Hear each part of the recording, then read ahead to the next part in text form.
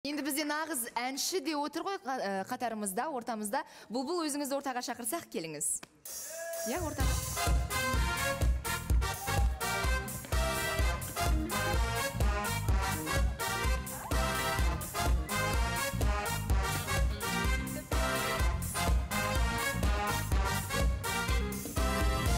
Иә қалайсыз? Жана ханым кайрылуу күн. Мен туфли ауыстырмадым мен ортага чыктым билген жокмун енді былай да әдемі сияқты. Болады болады. Иә уайымдамаңыз өте әдемі. Бірінші бір ән болса сізден де сіздің қоңыр дауысыңызды естімегелі көп алдында болды. агамыз келип жанагы кыялдагы арууду айтты ғой. Иә? сол өлең катты өзүмө негизи унайт сол кичигине қайырмасын иә? Ал кеттік. А башынан баштап жиберейин тереземнен соққан самал еседі ай. Ғашық оты мені өртеді ай. Сенің нұрлы мөлдіреген көздерің жүрегімді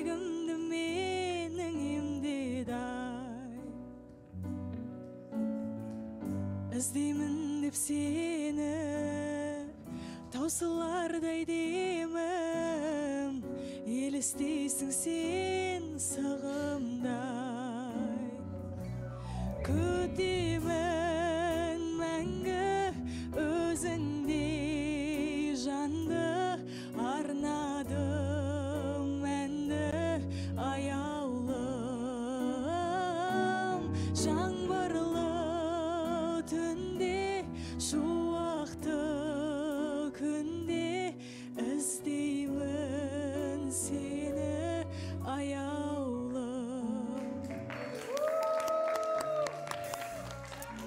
Керемет керемет. Ал енді бұлбұл ортаға шықпағалы біраз уақыт болды. Жеті жыл. Енді жеті жыл болмаса да бір айдың жүзі өтті иә? Қателеспесем. Өте көп уақыт және бір айдан асып кетті. Ә, серік екеулеріңіздің бірге екендеріңізді де білеміз. Бірақ мәселенің барын тағы білеміз. Сол жағы қалай болып жатыр не істейміз деген сұрақ. Жана ханым енді сол ба- баяғы әңгімені мен қайта қайта айта беруге де кішкене ұят қой. Бір орында тұрғаннан кейін ешқандай прогресс жоқ сияқты болып жатыр да. Ә, бірақ расымен де сол мәселе біз былай да көрдік былай да көрдік шешілмей жатыр. Яғни сонда түбегейлі қарсы болып жатыр ма түбегейлі қарсы болып жатыр. Ә, ал мама көндіруге тырысты бір былай да енді кішкене сөз ауырлап сөйлеп те ә, сөйлесіп көрді екеуі. Жеңіл де сөйлесті былай да алдап сулап сөйлесті папа. Қайта қайта айта бергеннен пайда жоқ деп бірақ қаққан екен мамаға. Және де енді білмеймін бізде енді басқа ештеңе қалған жоқ қой. Иә. Барлық енді өтетін дүние өтті қиындықтарды көрдік. Бізде бірақ қадам ол жаңағы ұзату тәтті шай деген сияқты той ғана ғой. Білмеймін жана ханым. Бір былай көрдік былай көрдік. По любому алдымыздан кедергілер шыға береді шыға береді шыға береді. Андай бітпейтін сияқты болып бірақ серікпен біргесіздер. Бірақ серікпен бізде барлығы жақсы. Ұрыспаймыз бұрынғыдай қырылмаймыз мүлдем. Жана ханым көз тимесін енді. Ондай әбден бір біріміздің мінезімізді беске біліп алғанбыз. Андай ешқандай конфликт ештеңе болмайды. Как одно целое дейді ғой. Бірақ осындай бір кедергілер шеше алмай жатырмыз. Енді оның жолы бар ма жалпы? Шешетін. Ол бір жай ә, аға емес көрші емес. Ол әкенің қарсылығы. Және сіздер бәрібір қазір біргесіздер. Әкеңіз де естіп жататын шығар енді көріп жатады. Я екеуі бірге жүр инстаграмда бірге күнделікті дегендей.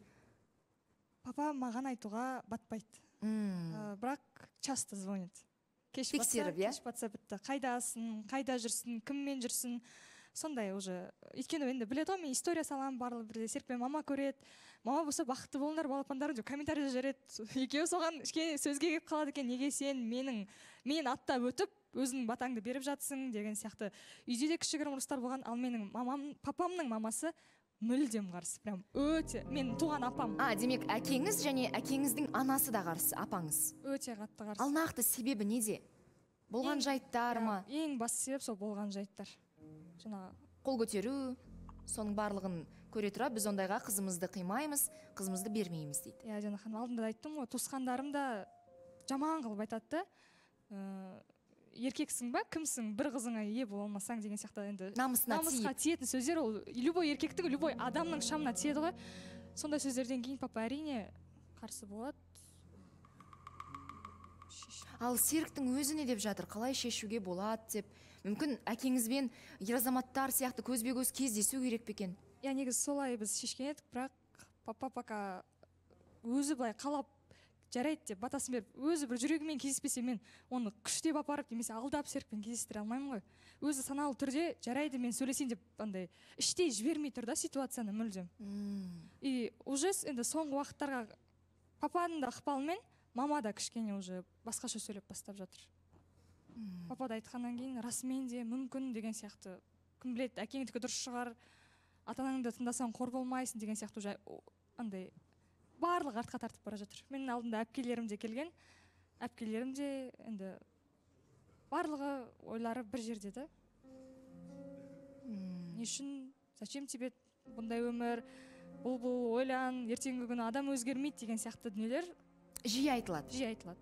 Әпкелеріңіздің де тарапынан мәссаған диана ханым мен Ау, айтып кетсем бола иә. ма А, қайырлы күн. Қайырлы күн. Сұрақтарыңызға иә енді бастапқыда осындай бір ситуациялар болды ғой. Бірінші емес қанша рет қайталанды деген сияқты. Енді ата ананың жүрегі бірінші баласын ойлап тұрады ғой қанша дегенмен қимайды деген сияқты. Енді ә, бір таныстыру болды ғой енді. Ә, әкесімен танысты сенің әкеңмен танысты деген сияқты. Енді мүмкін ә, серіктің анасымен танысып көру керек пе деген сияқты ғой. Ата аналар бірге бір ә, бір неге келу керек сияқты бір түйінге келу керек сияқты. Өйткені жастар бұны шеше алмайды. Өйткені ата ана шешу керек деймін осындай мәселені.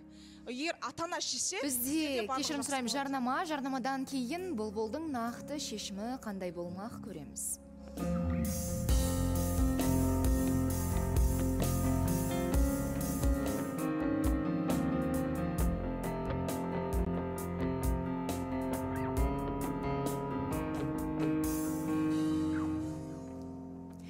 Жобасы ортада бұлбұл көптен бері шықпаған еді сабағы болды басқасы болды. Бүгін демалыс екенін ескере отырып бірден ыстық жерден соқтық және студияда серік те бар. Серікті шақырайық иә келіңіз.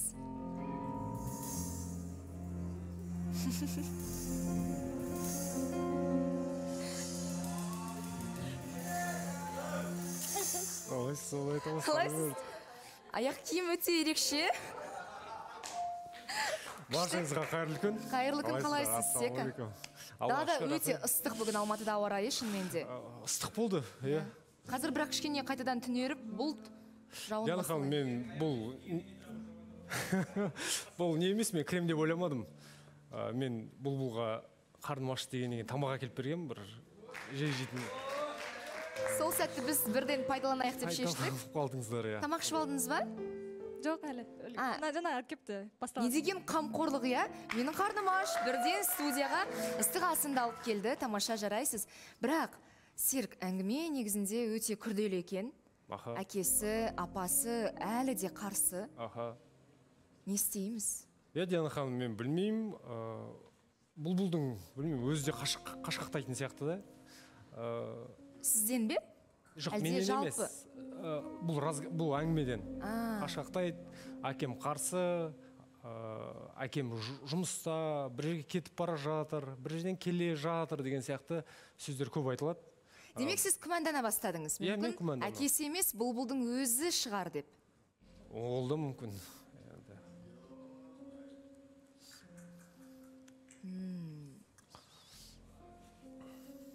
Бұлбұл? Серікте осындай күдік бар екен. Негізі ол енді жоқ олай емес. Негізі менде просто қорқыныш. Енді папаммен пока батпаймын мен папаммен спокойно былай отырып сөйлесуге мен мүлдем батпаймын. Ұяламын өйткені біріншіден ұяламын екіншіден ыыы менде сенімділік те жоқ қой. Оларда да сенімділік жоқ. Болашақта бұл нәрсе қайталанбайды дегенге сен маған гарантия бере аласың ба қызым деп айтқан кезде ертеңгісі күні жылап маған отырмайсың ба деген сияқты гарантия бере алмайсың ғой. Өйткені сен өзің не знаешь куда ты идешь деп маған солай айтты папа күндердің бір күнде мен отыра алмаймын үйде дейді да. Қай жерден мына қызым жылап қалады екен қай, қай күні мына қыз маған осылай жылап звондап қалады екен деп мен қорқынышпен мен сені қалай жіберемін деп айтып жатыр да папа. Сонда ханым айта кетсем бола ма қайырлы күн қош келдіңіз сека. Ә, бұл енді сен айтып отырсың ғой папа сөйтіп айтады солай ойлайды дейсің. Ә, қай күні қорқыныш қай күні жылап қалады деп.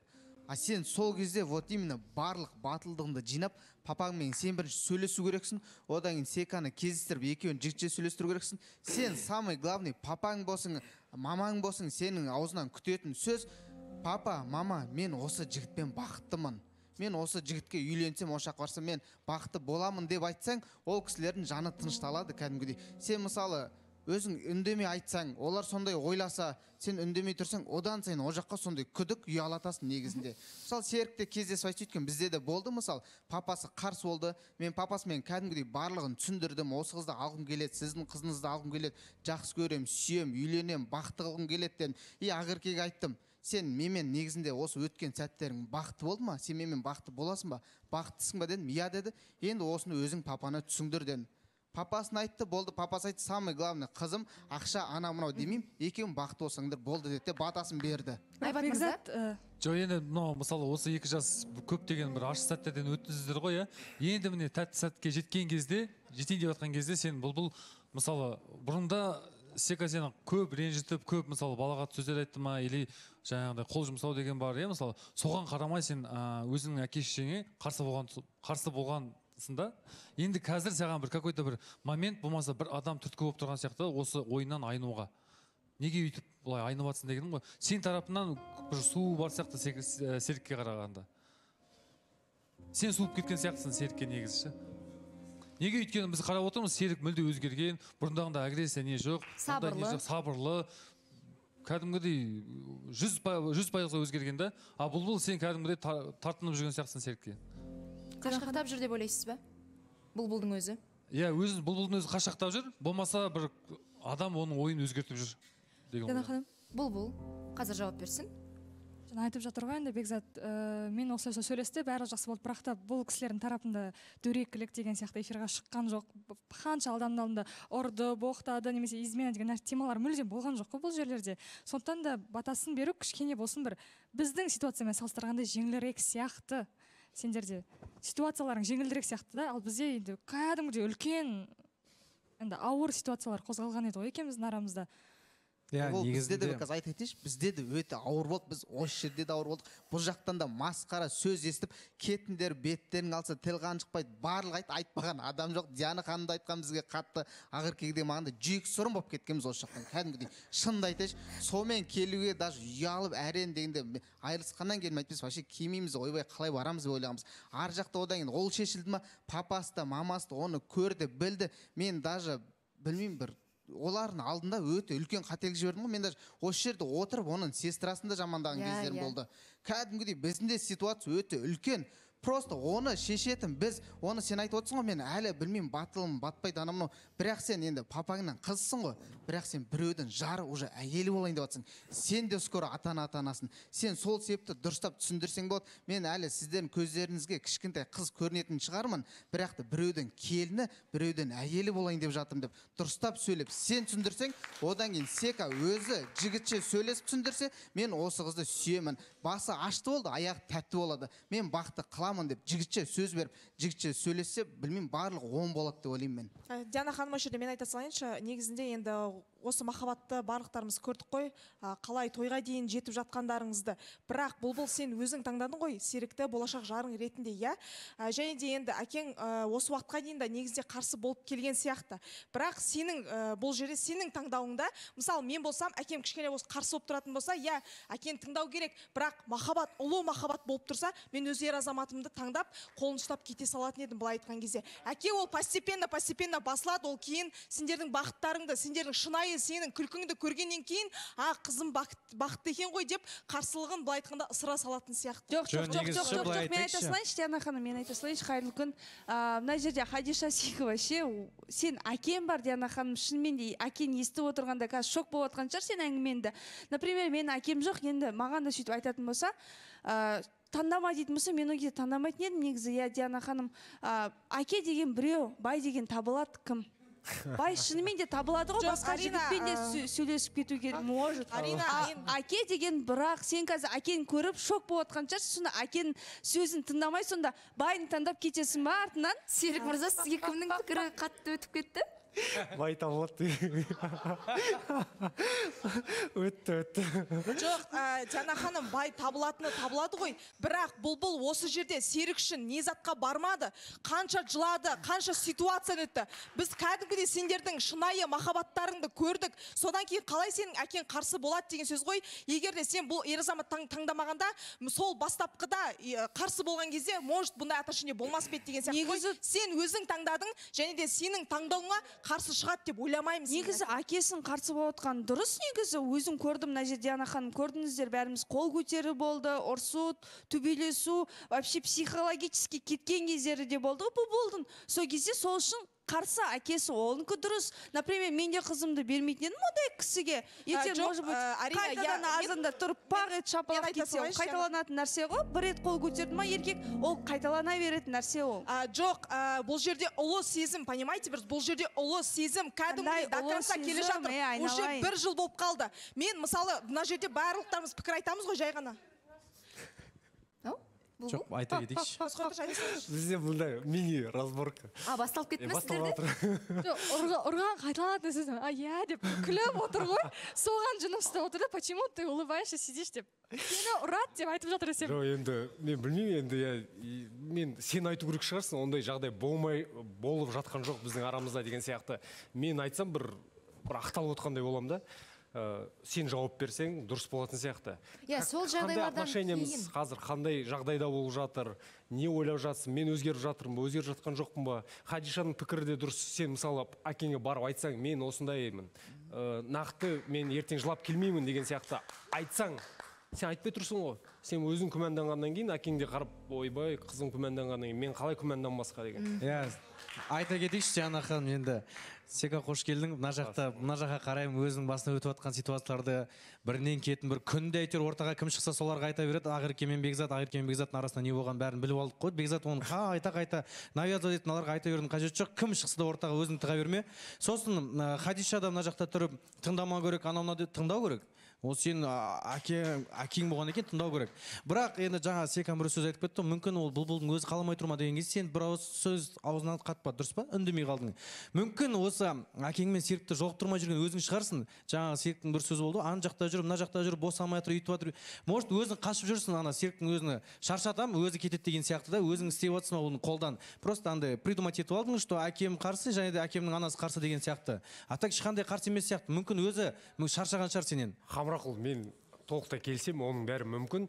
Ә, мен басында басында осы уақытқа дейін мен айтып жүргем ә, әкеммен кездесейік қайда жүр қай күні біз кездесе аламыз деген сияқты. Ол алматыға кетіп, кетіп бара жатыр біреумен кездесуге. Сосын ол оказывается білмеймін бір жерге кетіп қалыпты деген сияқты. Ә, әңгімелер айтады. Ондай әңгіме көп болды. Ә, бір емес демек иә? бір емес иә. Содан кейін мен өзім айтпайтын болдым. Жоқ осы мәселені сұрайық та енді бұлбұлдан осы сұрақты уже екінші рет қайталанып қойылып жатыр бірақ бұлбұл тағы да үнсіз. Қысқасы бұл бұл былай айтып жатыр. Серіктің өзі де қатысушылар да әкесі қарсы деген сылтаудың артына тығылып бұл бұл өзі серіктен қашып жатыр дейді. Диана ханым. Э, жоқ менде андай бір артқа тарту емес білмеймін диана ханым. Менде үлкен қорқыныш бар. Ол қорқыныш сенімсіздік серікке ме әлде? Иә? Біріншіден иә серікке екіншіден өзіме жоқ бұл просто серік кешірім сұраймын. Серік ең бірінші орында өзіне әйел емес анасына келін іздеп отырған адам серік. Ең бірінші орында солай. Одан кейін ғана өзіне жар іздеп отыр да. Мен содан ғана қор мен жақсы әйел бола алатыныма сенемін. Бірақ жақсы келін бола алатыныма мен қатты қорқамын диана ханым мен біреудің отбасына барып бұзып бұзғым келмейді біреуге жаман құтсыз келін болып түскім келмейді ол отбасыға барып диана ханым жақсы келін болғым келеді бар ғой. Мен сол нәрседен ішімнен қатты қорқамын. И морально өзімді дайындап жүрмін дайындап жүрмін. Ал серікке келетін болсақ серік иә жақсы көретініне мен сенемін. Бізде барлығы взаимно барлығы күшті да бірақ неге қорқыныш мен құтсыз келін болып қалам деген бұл бұл. Егер сіз серікті жақсы көріп тұрсаңыз серікке жақсы әйел болам десеңіз неге жаман келін болудан қорқасыз?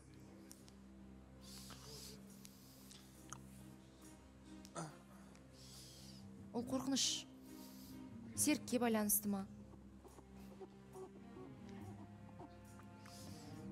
Бұл кісілердің енді былай шет жағасы отбасыларын танып білдім ғой.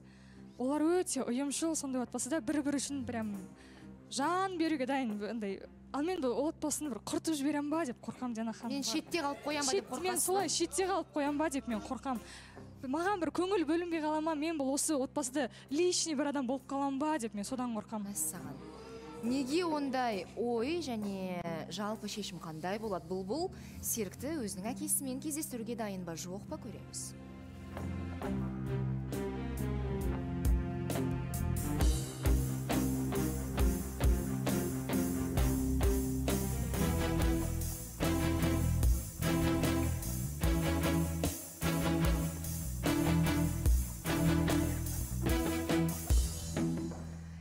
Жақсы әйел болуға дайынмын бірақ шаңыраққа құтсыз келін болып түсуден қорқам дейді бұлбұл. Бірақ ондай қорқыныш неге қалай пайда болған біз түсінбей жатырмыз. Өйткені енді серік жақтан да маған өте көп айтады ғой сен үйде осылай ұстауың керек өзіңді былай бөр менің мінезім мынандай менің әпкемнің мінезі мынандай менің мамамның мінезі мынандай. Үйдегі кішігірім ә, братишкасы бар сонымен а әпкелеріңіз бәріңіз бірге тұрасыздар иә? Жоқ. А бөлек тұрасыздар жоқ иә. Бірақ баласы бір бірге тұрамыз. А, бізбен. Иә сен ана барлығының көңілін табу керексің. Енді ал мен серікке айтқан кезде менің ата анамның көңілін тапшы деген кезде түрі тыржиып қалған болатын. Және де ә, мынандай әңгіме қозғалып кетті да я хочу чтобы ты перед ними бегал деген. Мен солай айттым мен диана ханым. Жасырмаймын. Мен әке шешемнің көзінше жүгіріп жүрген қалаймын өйткені мисс кезінде менің әкеммен амандаспаған серік. А.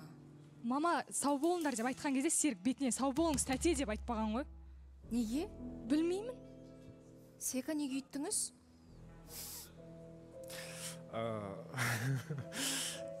Кешірім сұраймын бұл не от того что мне смешно. Ол жағдайды мен байқамаппын да. А көрмей я қалдыңыз көрмей қалдым.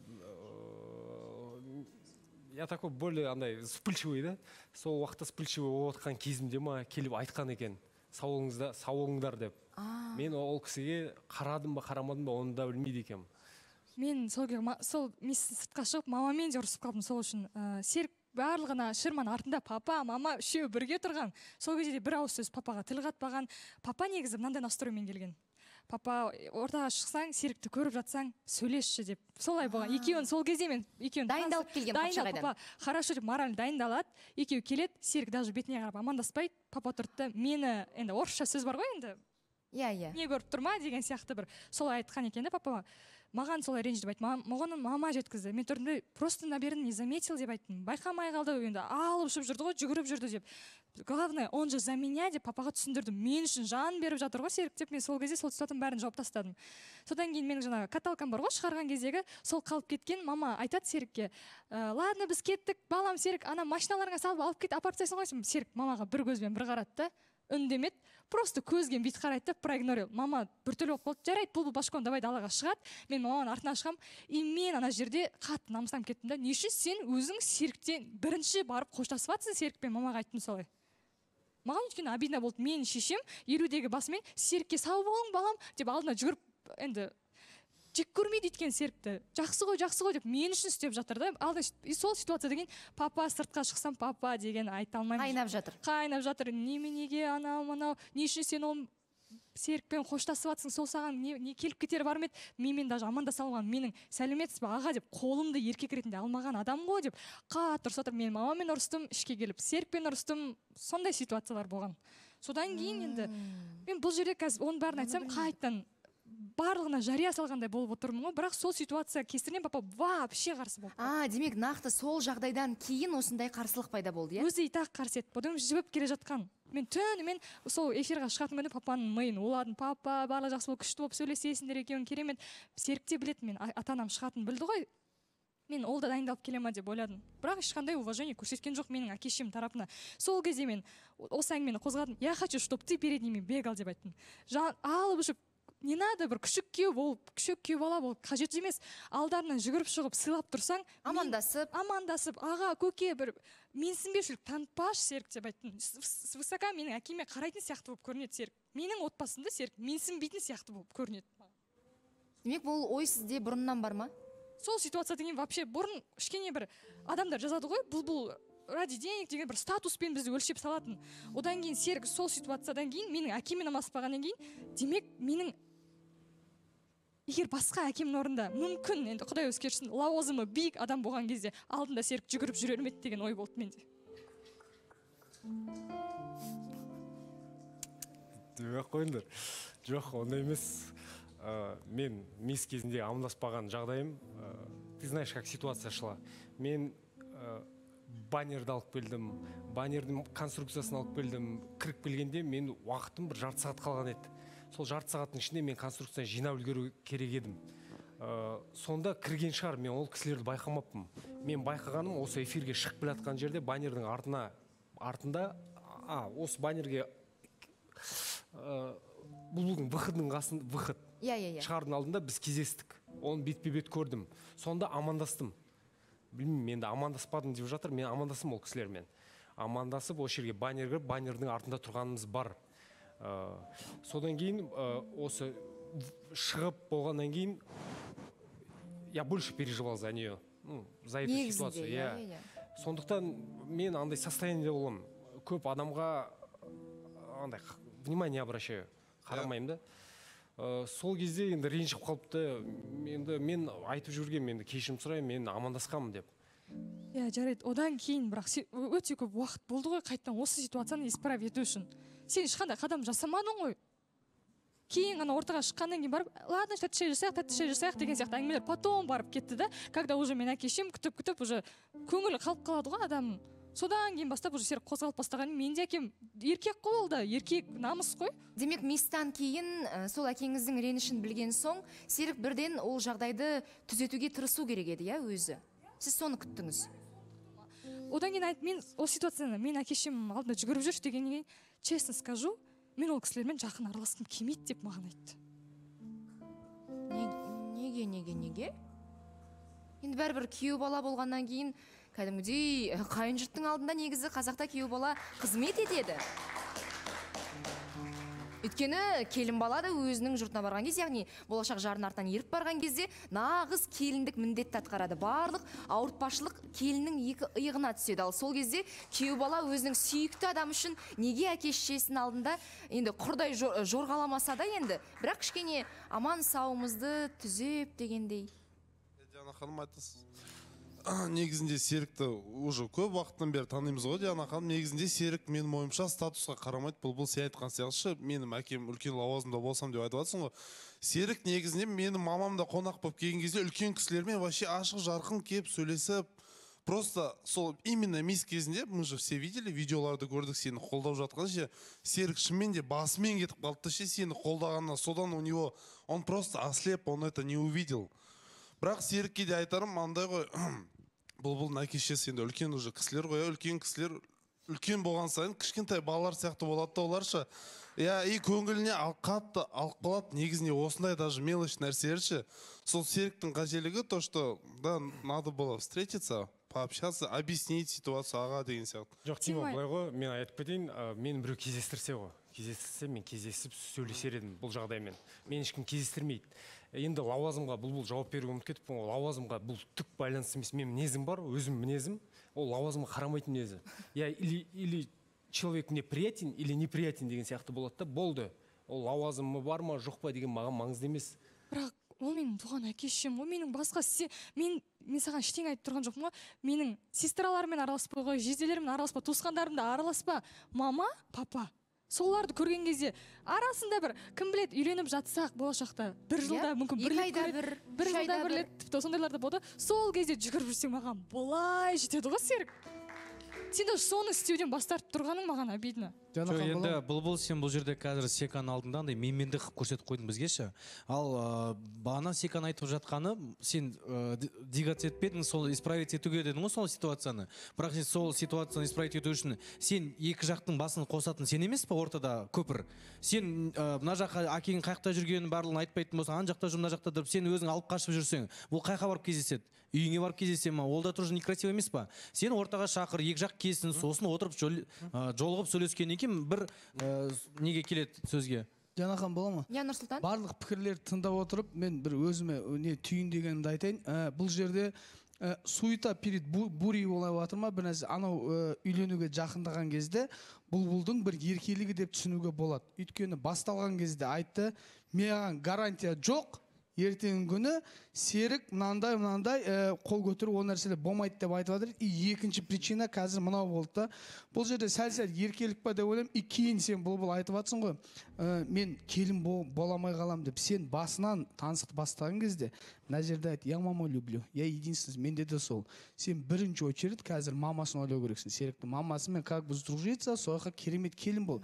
А кейін ке- сен мамасымен керемет дос болып келін болған кезде араларыңда не дай бог бір нәрсе сұхит тірліктер болған кезде мамасы именно сендерге мост болып тұрады любой тірлікті шешіп беріп тұрады. А сен мамасы мен баласын былай қойып қойсаң сенде болашақта түк те жоқ ары кетсе бір жарты жылға барады отношения енді қараңыздар нұрсұлтан сіз де айтасыз мен үйдің жалғыз баласымын серікте де жағдай тура осындай. Сіздер бірінші кезекте өздеріңіздің қыздарыңыздан талап етесіздер иә? Менің шешемді сыйла шешемді ренжітпе шешем не десе де заң деп қабылда. Ал бірақ неге өздеріңіз сол қыздардың әке шешесін айына жылына бір рет қана сыйлау керегін ұмытып білесіздер егер сіздер сүйіктілеріңізді яғни бұлбұлды сіз болашақ жарыңызды иә ұнатып сүйіп тұрсаңыздар сіздер априори ол жақты да сыйлап көну керексіздер бастарыңызды түсіріп. Жанахан ә, бұл жерде өте дұрыс. Мысалға серік пен мені қояйық. Менде мысалға басқаша да мен танымайтын танитын адам болса бүйтіп кіріп кетемін арасына. А серіктің характері ондай емес. Серіктің анада қатты бір нәрсе күні мен де артында тұрдым ғой айзамен шығатын кезде. Сол кезде ситуацияны артыңғы көрдім. Ол жерде не только амандасу былай мел мельком прошел а серікті ертеңгі күні «Әй, бұл бұл сенің ә, сенің күйеуің болған кезде сенің атаңнан сыйламай свысока қарайды дегенге мен оған сенбеймін диана ханым ол не ол саған байланысты. Бүкіл нәрсенің бәрі бұл бұл саған байланысты. Неге барлығы менің мойнымда Иә. болу керек? Өйткені қыз береке де келін де бәрі сенің мен қолыңда. жасамай жатырмын ба? Жоқ мен өзгермей жатырмын сен мына жаман жағынан болып жүрмін ба? сен оны айта негізі сенің әке шешеңді сыйлау үшін сен оның әке шешесін сыйлай білу керексің. Ол нәрсе бірінші очередьте серік. Например сен өзің қалайсың ба? Сол нәрсені қалап тұрсың ба бұлбұлдан? Менің әке шешем сыйла дегенді онда сен де оның әке шешесін сыйлай білу керексің. Негізі және де бұлбұлдың суып кеткені рас. Ол қалай суымайды диана ханым күнде күнде әке шешесі ей қызым қой қой деп айта берсе айта берсе. Және көзбен сенің ә, оның әкесінің алдына барып сөйлесуге желанияң жоқтығын көріп ол қалай суымайды қыз баласы? Ол да суиды ғой оның да жүрегіне тиеді. Бір мына жерде амандаспай қалды деп енді сыйластыққа апарып тақай бермесеңдерші сыйламайды сыйламайды деп айтып жатыр ғой. Енді бұл бұл сен просто ақылға салып тік жолықтыра салу керек екеуі екеркек жолыққан кезде екеуі кәдімгідей дос болып кететін еді болашақта. қайтып жолықтырамын. Менде папаны бүйтіп қинап апара алмаймын мен. Онда сәке үйіне Диана ханым, жаңа негізі айтып жатыр ғой жаңа әке шешемді байқамай қалды деп ше серік негізі ол жерде бір ығы жығы адам болып отқан кезде действительно ана жерде байқамай қалуы мүмкін да ол бір екіншіден айтып жатыр ғой жаңа серік мен ананы құрадым үйттім бүйттім деп ше иә жарайды енді ақталып шығып жатсың бірақ бұл жерде ә, негізі екі жақтың да адамдары жақсы сыйлаймыз құрметтейміз иә екі, екі тарапты да. Бірақ бұл жерде сәл менталитет бар секілді да Өзгешелік. өзгешелік менталитет. Қазақи и современный. Шамалы мысалы. Мен неге екі жақтың да ата анасын былай сырт көзбен танимын а серіктің мамасын мен тікелей танимын да өзім танысқан өмірде көргем. Неге? Ол кісінің аузынан естіген сөзім бұлбұлды өте қатты жақсы көреді бұлбұлды әрдайым мақтап отырады ше негізі ол кісімен мен тікелей танысқанмын. Мысалы так что сен бұлбұл андағындай күдіктерін енді алып тастаған алып тасташы деймін да ойыңды ше ол бір енді серік саған бауырым айтарым ешкімге қарама бұлбұлды тыңдама ә, бұлбұлдың ә, телефонынан жаңағы бұлбұлдың әкесінің номерін алып алып өзің бір кездесу ұйымдас- ұйымдастырсам деп ойлаймын да. Кездессең деймін да. Негізі тіпті бұл күнге дейін ол дүниені жасауға болатын еді.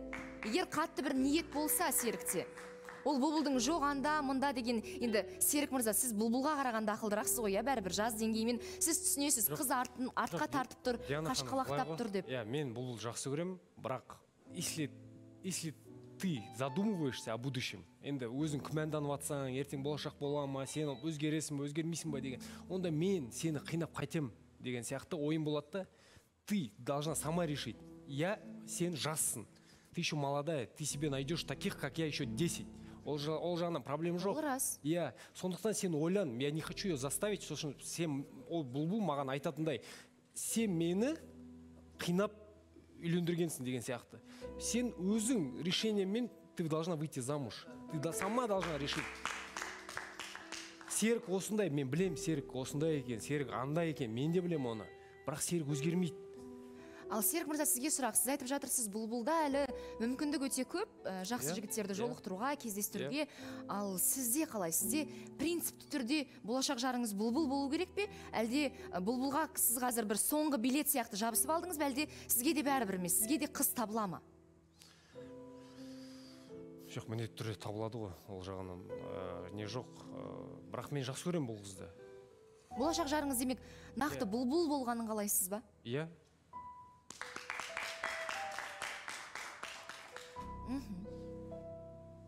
Онда сол сөздерді сіз айту керек сияқтысыз бұлбұл естігісі келетін.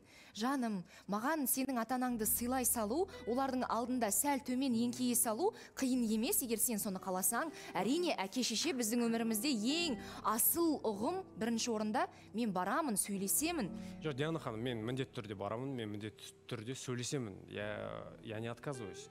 Бірақ болашақта мен бұл айтқан мен ә, қатты андай араласуға мен я против. Мен я против. Неге оның себебін түсіндіріңізші себебі қазір. мен ұнатпаймын. Ондай мен көп ә, көп достарымды көргем көптеген туысқандарымды көргем. Ә, өз өз туысқандарын тастап сол қайын жұрт дей ма? Қайын жұрттың үйінде жүргендерін. Меня это бесит. Мен жыным келеді. Сондықтан мен оны, оны құптамаймын да. Жоқ менің ата анам да ақымақ кісілер емес. Ана жорғалатып қойдыратын немесе мені қай- постоянно жаңағы төркінге шақырып алатын ондай кісілер емес. Керісінше серікпен болдың ба значит сен серіктің отбасысың деп отқан кісілер болады олар түрде сен болашақта. барып тұрсаң өзің барып тұрасың да. Мен енді а сіз бармайсыз? Мен бармаймын. Мүлдем бе? Жоқ мүлдем болғанда бір той болса енді барып қалатын шығармыз. Ал былай енді құдай сақтасын. Неге барын кішкене болсын жеңіл қабылдауға болмайды. Өмір азақ қой жеңіл просто Иә. барып амандасып күліп ойнап ешқай тар жеріміз- ойламай дейсіз тар ойлап жаман ойламай ешқай жеріміз түс қалмайды ешқай бірақ негізінде қазақ айтып жатады ғой қыздың төркінге ең абзалы өзінің жарымен келуі жалғыз келуі емес деп айтып жатады. Өйткені ол жаман ырым қыз жалғыз келе берсе сүйкімі қашады берекесі кетеді оның жар қайда деген сыбыстар пайда болады дегендей әлде күн көрсетпей жатыр ма жігіттің әулеті деп? Енді бір жарты жылда бір рет барып тұрсақ болатын шығар. Енді бір, ай сайын бір апта сайын барып тұрсақ ол ол өте дұрыс емес. Мен оны құптамаймын. Мәссаған дұрыс қой мне кажется серік просто дұрыс жеткізе алмай жатқан сияқты өз ойынша. Сен де жаман түсініп қаласың да жоқ вот араласпаймыз дейсіз правильно же екеуің үйленсеңдер енді отдельный семья боласыңдар ғой сендер у вас уже своя семья будет понимаешь? Негізі? Сондай тима дұрыс жеткізіп жатырмын. Е мен түсінемін ғой сені братан. Жоқ жоқ негізі қазақта құда түседі ғой. Құдалар бір біріне туыстардан жақын болып кетеді негізінде. Мысалы біздің жағдайда менің жеңгемнің туыстары қазір бізге кәдімгідей менің ағам оларға апта сайын барып тұрады тіпті. Кездесу ортақ дастархан той томалақ. Бірақ одан мен айта алмас едім менің ағамның бір азаматтығына сын келді. Я болмаса ол жеңгемнің алдында төмен түсіп қалды деп. Ол өйткені екі баласының анасы деп қарап отыр ғой ол қызға. Диана ханым сол мне кажется менталитет жаңа айтып кетті ғой. Современный и қазақи деп ше например менде де больше как серік наверное думать ететін шығармын мен де менің отбасым да современный не надо қазақи деп. Біз Жоқ. бір ойбай юртада тұрып жатқан жоқпыз ғой қазақи болатындай. жоқ, имеется в виду Тимур, само мышление. само мышление бұл жерде де бізде де современно просто амандық қой. Современный отбасыда қазақи отбасыда да амандық сыйластық деген біреу ақ тимур. Жарайды болашақта серіктің өзі тіпті көп бармаған күннің өзінде. Қазір енді бізді ел көріп отыр иә.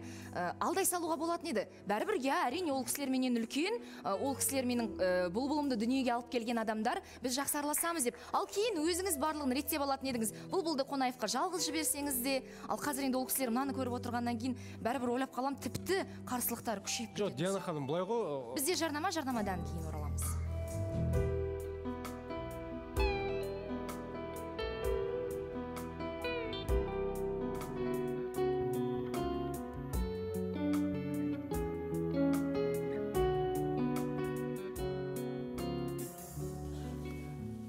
Қосайық жобасы ортада серік және бұлбұл жұбы барлығы жақсы бірақ бір жағынан барлығы онша емес. Я тағы да пікір ой қосамын дейтін мен де сандина ханым мына жерде қиын жағдай болып отыр ғой негізі. Ә, серік сіздікі бар ғой көкірек сияқты да сізде көкірек көкірек жібермей тұрған сияқты барып бұлбұлдың аты көкірек көкірек көкіректік бар ғой бүйтіп мендік деген сияқты мен мен деген сияқты. Сол сияқты бұлбұлдың ата анасына барып өзіңіз ә, қадам жасасаңыз бәрі өзіңізге де байланысты ғой негізі. Өзіңіз барып әкең әкесінің номерін алып барып кездесіп еркек пен еркекпен жақсы тіл табыса алады ғой қызына ә, ауыр сөз айта алмаса да еркекке айта алады дегендей. Сонымен әке шешесімен сөйлессеңіз бәрі өзіңізге байланысты деп ойлаймын негізі. Жоқ да- дана менде көкірек жоқ. Мені кездестірсе мен айтып кеткендей кездесер, кездесер едім. Ал телефон номеріне келетін болсақ телефон номерін бер деген жағдайда маған айтатыны ә, мен өзім сөйлесем ертең сөйлесетін боламын ертең айтатын боламын деген сияқты. Ертең ертең болады ертең күні тағы да ертең болады деген сияқты. Ә, өзім сөйлесем алматыдан а бір жерден келе жатыр. Алматыға келе жатыр ма болмашы алматыдан бір жерге келе жатыр ма сөйтіп біз кездесеміз мен түсіндіремін ә, и күн айтатын боламын дейді да сонымен қайтадан бәрі жоқ болып кетеді. аха. Бұлбұл ал сізге мынадай сұрақ. Серікпен қазір енді барлығы жақсы деп жатырсыз ғой. Сіз бір белгілі ыңғайлы ә, комфортты бір аймаққа кіріп алған жоқсыз ба? Зона комфорта дейді ғой. Иә жанымда жігітім бар. Ә, мен үшін барлығын жасауға дайын. Мен үшін еш нәрсесін тиынын теңгесін аямайды барлығын дайындап береді. Бұндай жігітті қайдан табам? Бірақ тұрмыс жайлы ойлаған кезде ә, мүмкін мен дайын емеспін ол өте дұрыс айтасыз диана ханым. Иә менде сондай күмән бар. Зона комфорта дейміз ғой. она привыкла уже. Және одан шыққысы келмейді бірақ прогресс жоқ.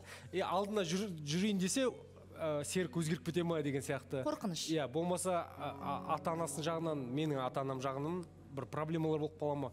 Мен өстіп жүре бергенім мен жаспын өстіп жүре бергенім жақсы емес па деген сияқты. Дұрыс айтып отырсыз. Ойы бар сияқты. Ханым сіз жассыз ғой бірақ енді серік.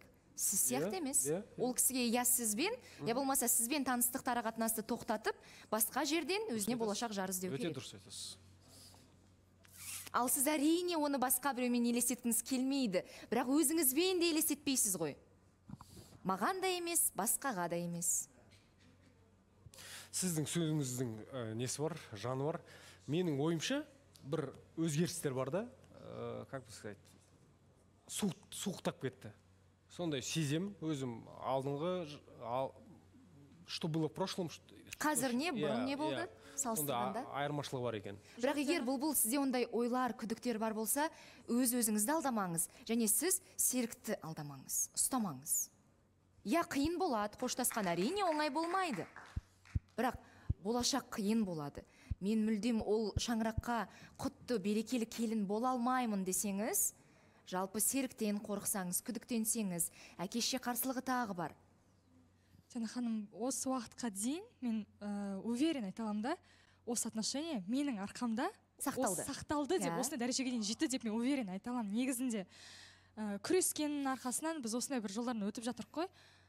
Бірақ осы жолы мен барлығын бір ауаға жібергендей болдым да ана плыть по течению деп айтамыз ғой сондай болды. И ешқандай өзгеріс болған жоқ. И мен осы жолы ойладым неге мен қайта қайта бірдеңені ойластырып ана адаммен сөйлесіп бір бірдеңені разборки интрижки эти бұрынғы жаңағы басқа қыздар деген сияқты нәрселердің барын өткеннен кейін сізге қызығы қалмай қалды ма? қызығы қалмағандай иә ондай да бар жана ханым и сонда қыз қызығы қайта қайтып келу үшін қыздар керек па? Түсінбедім. Серік бес секунд деп қойсаңызшы. Басқа мағынада соны айтамын. бес секунд. Жана ханым жоқ ә, бұлбұл мүмкін былай болған шығар. Ә, ол кезде көп эмоция болады ғой. Сіз тырыстыңыз алдандыңыз күрестіңіз жыладыңыз ауырдыңыз. Ал қазір ондай эмоция жоқ. Бәрі бір тауқында бір қалыпты болғаннан кейін сізге ой бір онша емес деген сияқты.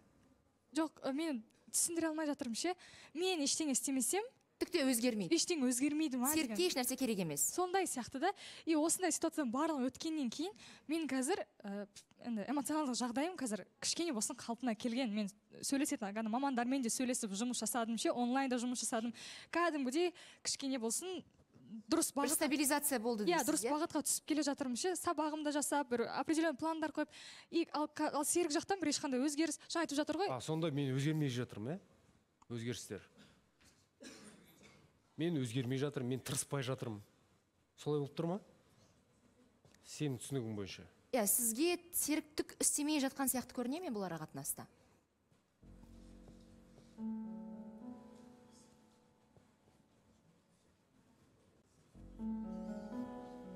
басында эмоция кезінде бір мен басқаша болдым да қазір барлығы басылғаннан кейін.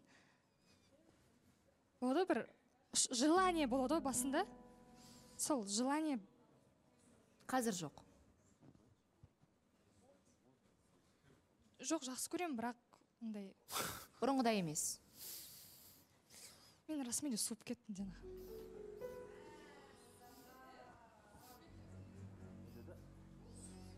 суып кеттім дейді бұлбұл. Және бұлбұл мынадай сұрақ қояйыншы. Бұл сіздің көптен бері мойындай алмай жүрген шындығыңыз ба? Өзіңізге де серікке де айта алмай жүргеніңіз жоқ олай емес мен оны жақсы көрем одан кейін жоқ жақсы көрмеймін деп. Иә? Бірақ енді ер азаматтар да ақымақ емес қой олар бәрін сезеді. Бұрын қалай болды қазір қалай? Түсінеді. Әлде мүмкін бұл, бұл тағы да бір ой бар. Сізде мынадай ой пайда болған шығар. Мен әлі жаспын бәрібір. Серіктің жасы бар. Айырмашылық бізге бәрібір кедергісін келтіреді. Менің әлі жоспарларым бар өмірге қойған мақсат армандарым бар. Оқуым бар жұмысым бар табысым бар әке шешеме көмектескім келеді. Олардың барлық жағдайын жасағым келеді. Әлі тұрмыс жайлы ойлауға мүмкін бір екі жылсыз ерте шығар деген. Диана ханым жасырмаймын ондай ой да мені күнде мазалайды. Мен өйткені еркек жоқ қой енді. Еркек Иә, бар бірақ барлығы өсіп жетілді. Мен үйдің кенжесі болғандықтан бүкіл жауапкершілік иә сізде қалып кеткен менде болған қалаймын да. Жастар да келе жатыр. И бір осындай скандалмен үйленіп кетем ба жастар келген кезде деп. Сондай неше түрлі ойлар бір басымда каша болып жатады бар ғой. Бір неге барлығы спокойно олар да разы болып ұрыспай бір тату тәтті болып үйленіп ой, тұрмысқа шығып кеткім келеді да дәл солай. Бірақ бізде барлығы осындай каша бір скандал определенный бір ә, жаңағы связкалар шешілмейтін түйіндерден өтіп сондай қиыншылықпен келе жатыр да. И қазір шаршап кеттіңіз бе? Жыным ұстап кетеді диана ханым бар ғой. Неге мен бәрін менде ғана емес барлығын да білемін. Бірақ бізде бір утрированно болады да барлығы. Тым. Слишком утрированно. Қиын өзім қиындатамын ба өмірімді жеңіл қарайын десем. Ол да болмайды. Ол да болмайды. Екеуміздің отношениямызды жөндеу керек дедік. Екеуміз де өз өзімізбен жұмыс жасадық. Екеуміз де гармоничный отношения. Бірақ екі жақтан әке шешеміз шығады. И сондай нәрселер уже бір енді серік не істейсіз? Не істеу керек деп ойлайсыз енді? Соңғы сөз бәрібір өзіңізде ғой.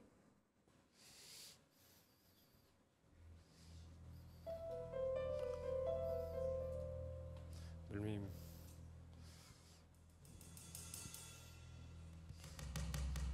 Жаңа суып кеттім деп жатсың ол не үшін суып жатсың сен? Это отношение мое? Өзгеріп жатқаннан бастап қараған айырмашылығынан ба? Әке шешең сөйлегеннен сөзінен ба? Мен сен жанында жүргенімен басқаша болғанымен үйде қандай әңгімелер болатынын енді айта бермеймін ғой саған. Аха. Жоқ негізінде оған әке шешеңіздің де қатты ықпалы жоқ деп ойлаймын сіздің суып кеткеніңізге. Эмоциялар барлығы айттым ғой кетті. Енді міне тек қана бір ақ қадам қалды. Сезім қалмады. Бұрынғыдай. Иә әрине бауыр басу бұрынғыдай барлығы бар шығар. Жек көріп кеттім жақсы көрмеймін деп айта алмаймын жақсы көремін маған жақын адамды бірақ иногда бір қашып кеткім келеді бір жаққа просто. Или ол барлық қыздарда бола ма сондай период үйленейін деп жатқан кезде тұрмысқа шығайын деп жатқан кезде бір қорқып бір э, страх бола ма мен білмеймін. Менде қазір ішімде бір сондай бір қорқыныш бар.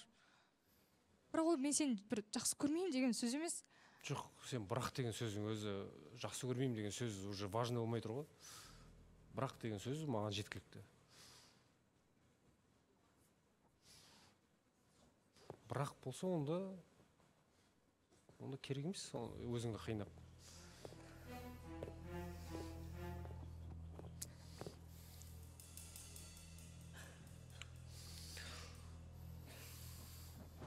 бұлбұл сіз ә, кішкене ойлану керек сияқтысыз бір күн екі күн толығымен бірақ суып кеттім деп жатырсыз ғой. Ер азамат бұндай сөзді көп жағдайда кешіргісі келмейді иә. Өйткені ол өзінің әйелінің жанында сүйікті болғысы келеді. Ал сіз серікті алдауға өзіңізді алдауға құқығыңыз жоқ. Сол үшін ойланып толғанып серік күтесіз ғой иә бір екі күн диана ханым былай ғой мен түсінбей жатқаным қазір. Когда я был плохим она меня любила да? Когда я был плохим. Мен қазір өзгердім. Я максимально изменился да? Сонда мен қайтадан ана, ана адам болып келу керекпін ба? Сен мені жақсы, жақсы көру үшін. иә өмірдің сондай бір заңдылығы ма?